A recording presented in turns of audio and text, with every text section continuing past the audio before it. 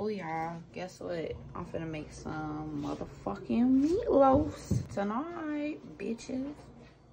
Alright y'all, I used all this stuff and this.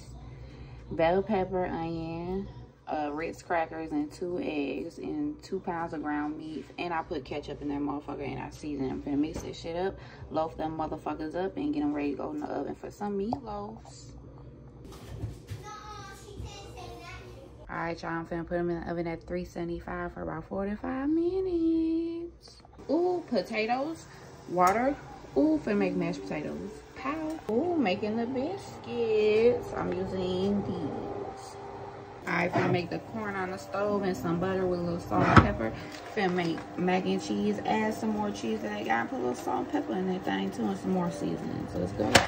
Alright, y'all. This is the meatloaf. I'm gonna put some ketchup on these motherfuckers and put them back in the oven for about another like five to seven minutes and let that shit marinate. These are the potatoes. Add some butter. I'm gonna add a little milk, mash them up, put some salt and pepper in them. All right, y'all. This is dinner. Mashed potatoes, corn, mac and cheese, biscuit, and motherfucking meatloafs. Oh, I'm finna smash y'all. You don't understand. My meatloaf be busting and it be moist as a motherfucker. Pop out, bitch.